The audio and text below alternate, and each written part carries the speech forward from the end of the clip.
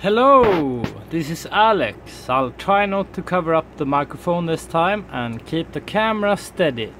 I am a little bit disappointed. I had so much to do for week, uh, for school and stuff, but finally today I had some time, so I thought I'd just get in a getaway like 10 shots or something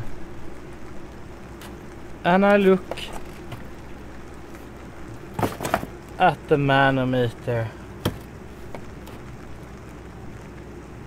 It's completely empty.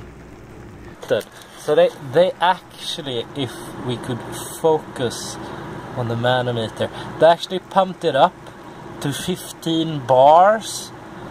Uh, I don't actually know what that's in PSI, like 1500 PSI. This is a factory new weapon. It's been fired twice. And you tell me, please, all the Swedish people watching this, all the American people watching this, other people in EU maybe that know law, since it's all the same now.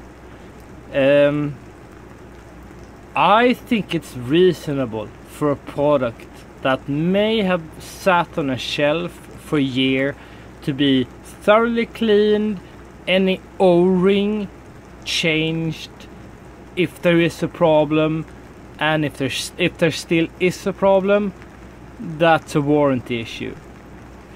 I've been advised to warrant warranty issue this one but since they ship extra rings I might as well try to disassemble it let me know your thoughts, please.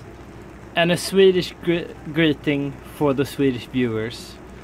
För Sverige i tiden!